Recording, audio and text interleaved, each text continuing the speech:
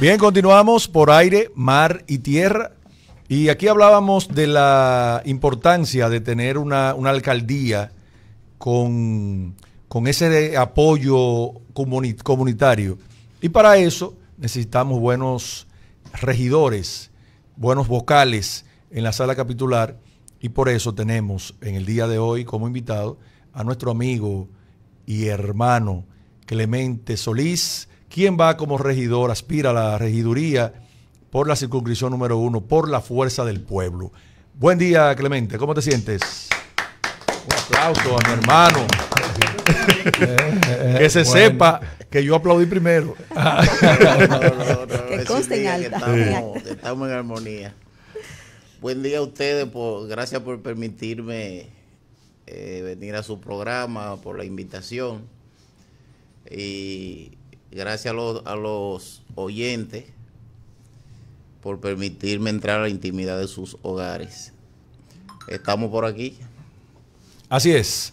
Clemente, sabemos que tú, un hombre fajador de Santiago, un hombre que, ha entregado a las comunidades parte de tu vida, queremos saber qué puede llevar ya fuera de lo que tiene que ver eh, eh, en lo personal, sino a la alcaldía, a la Cámara, a la sala capitular del Ayuntamiento de Santiago en estas próximas elecciones.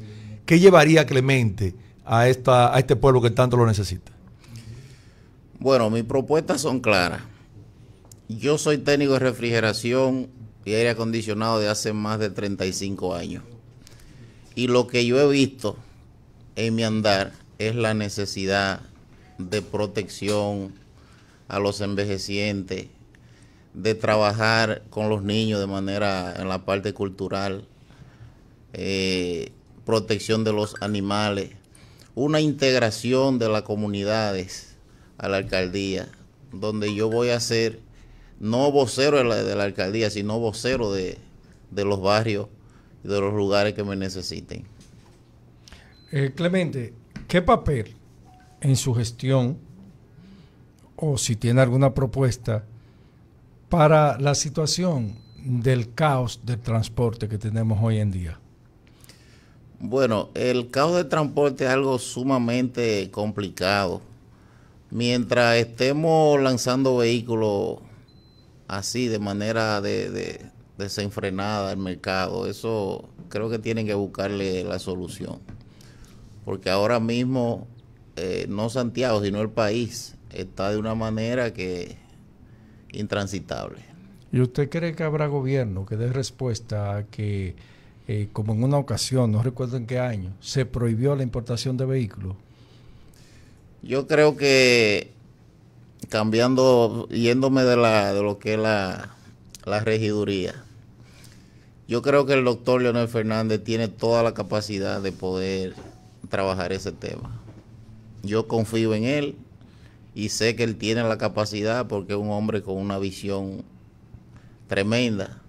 Pero, pero mire, usted nos trae al presidente Leonel Fernández ahora y hay que recordar, sobre todo para los más jovencitos, ya uno que tiene una juventud acumulada, recuerda un poquito. El periodo 96-2000 fue un periodo del presidente Leonel Fernández donde hubo un impacto de organización en el transporte. No solamente en el transporte terrestre, también en el transporte aéreo. Sobre todo eh, cuando retornó.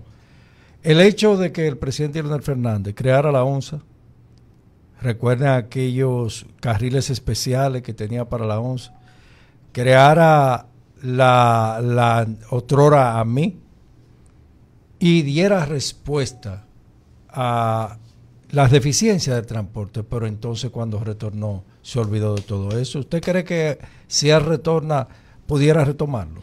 Sí, yo estoy consciente de que él lo va a hacer, porque el doctor Leonel Fernández es un hombre de buena voluntad, un hombre que se identifica con su país y está de cerca con la gente. Eh, Leonel Fernández te habla de los temas porque él lo vive y va a los barrios a ver los problemas que existen. Hablando usted de transporte, el día pasado yo estaba para la capital que yo nunca me había montado en el metro. Cuando yo entro a eso, yo dije, Dios mío, existen tapones en la capital, pero tú te imaginas que no existiera el metro. Yo fui de los primeros que eso me una en el cosa metro. inmensa. Sí. Entonces, vamos a extrapolar eso. Si él lo hizo eso bajo tierra, imagínese que el doctor Leonel Fernández tome la decisión de hacer lo mismo sobre tierra. Nosotros vamos a tener un transporte que es posible de extremo a extremo en nuestro país, donde usted pueda andar la República Dominicana, diría Pero- yo, en un día. Pero entonces, si por el metro hay que traer a Leonel Fernández, por el monorriel hay que dejar a Luis Abinader, No, no, no, porque son dos cosas muy diferentes. son diferentes. Son diferentes.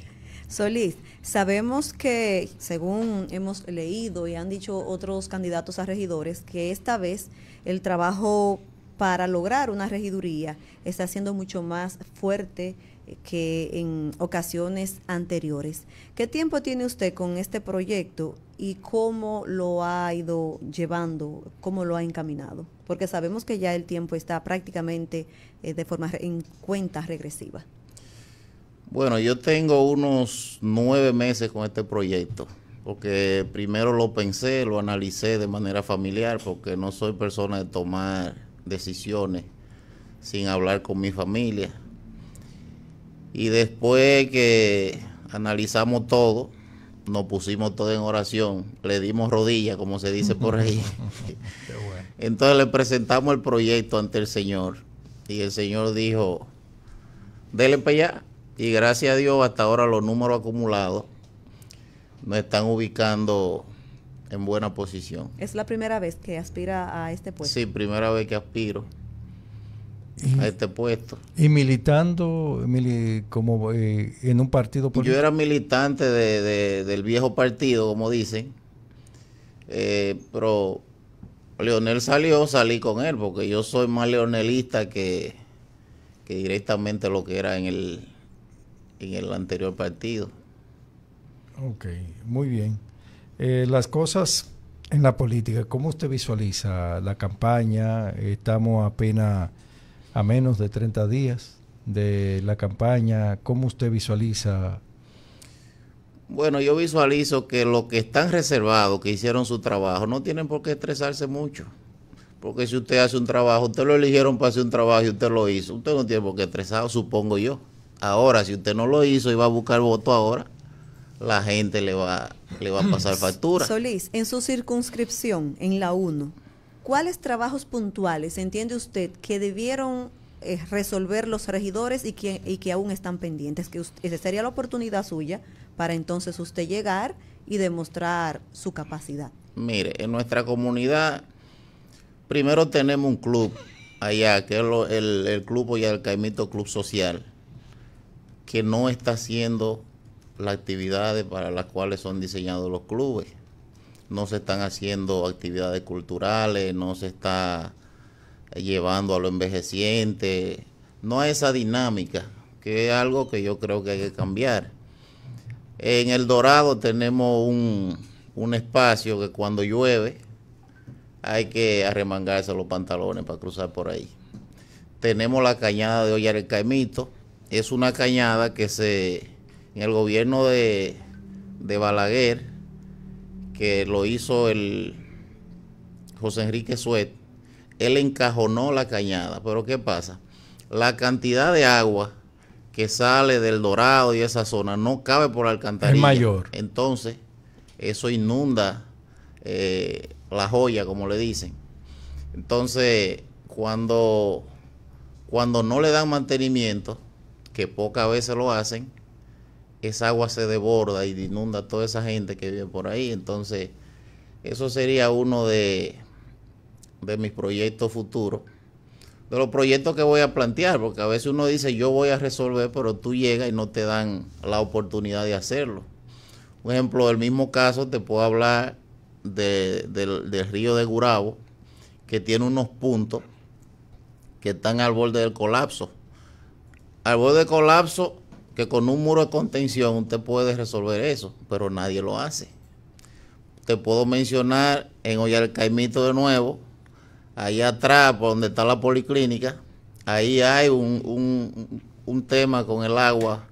Cuando llueve, eso se inunda, que usted no puede cruzar.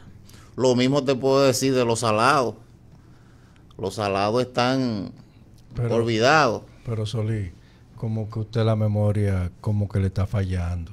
Porque usted habló de Dorado ahorita. Sí. ¿Y por qué usted no habla de ese cuartel de los bomberos que esta gestión del PLD de su antiguo partido También no ha visto para allá, para nada, que lo hizo José Enrique? que Ah, eso fue. Enrique Ah, Suárez. bueno, Sí. pues usted me está ayudando.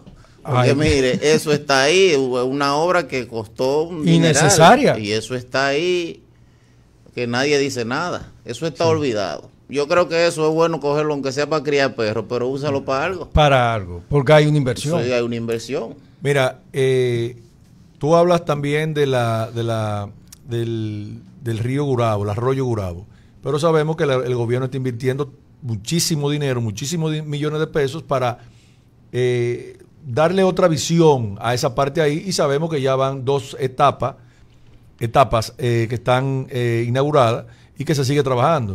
O sea, eso que tú estás, eh, que sacas a colación, eso se va a resolver en los próximos meses porque el gobierno ya dio la orden y se está trabajando. Lo que pasa es que van subiendo hacia Gurabo. Entonces, pero con relación a lo de la- las cañadas que están en Olla de Caimito y, y esa zona ahí por donde está el, el- la construcción del, de, la, de lo que iba a ser el, el cuartel de, de bomberos, que no sé cómo no lo han, no han terminado, cómo Abel Martínez no, no ha mirado para allá y ya le quedan días para que finalice su gestión. ¿Tú crees que Víctor Fadul llevará la, la bandera de, de- de- de continuar esa- esas obras que, que están paralizadas y que en, en, su- en ocho años Abel Martínez no, no, no concluyó? Bueno, nosotros estamos unidos a Víctor Fadul con la Alianza Rescate RD. Y él está llamado a escuchar a los regidores de la Fuerza del Pueblo, a los que seamos electos el, el 18 de febrero. Yo creo que sí, que él puede, él lo puede hacer, porque ya él, él, él él es un conocedor de la política, aparte de eso, su padre fue síndico, que también le puede dar algunos tips, porque yo creo mucho en la experiencia ya de las personas que han pasado. Eh, yo creo que él puede hacer un buen trabajo. Yo creo que eh, Víctor Fadul es un eh, muy buen candidato y una persona Sí. moderna y sobre todo Sí, sí. que no hay cola de paja. No, y eh, hay algo que quiero resaltar de Víctor Fadul, que es la parte humana de, de ese muchacho, la parte humana. Porque a veces tú ves políticos que te ofrecen Villa y Castilla, te dicen cosas, pero en el fondo, cuando usted lo trata, son monstruos.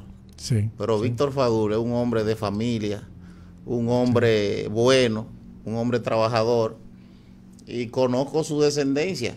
Y ya con ocho años de vida pública como la que él ha tenido, no se le ha escuchado el primer escándalo. No, no, de él no tiene, tipo. Entonces, eso y es no bueno. tiene tasa de rechazo. Así es, Solís.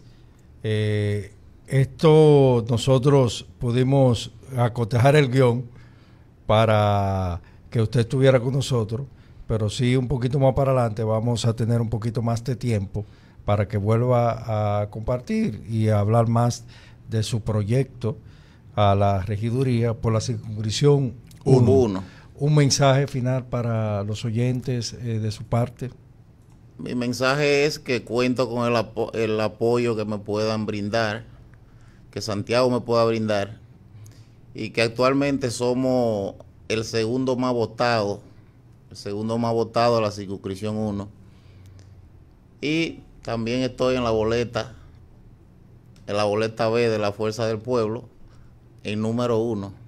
Eso, a todo el que le digo eso me dice, no, pues tú estás bien posicionado. Entonces, nada, yo espero que el, el 18 de febrero la gente me dé la oportunidad de conocer quién es Clemente Solís. Y para mayo. Para mayo, nuestro líder, Leonel Fernández. Muchísimas gracias por haber estado con nosotros. Gracias a ustedes por la invitación y me siento muy agradecido. Lo, trató bien, Bretón. Bretón, lo Sí, sí, yo- yo sí. soy mi hermano. Sí, sí, no, Bretón y yo somos de muchos años. Ok. Sí, sí. Señores, nosotros nos vamos ahora a la última de los diarios.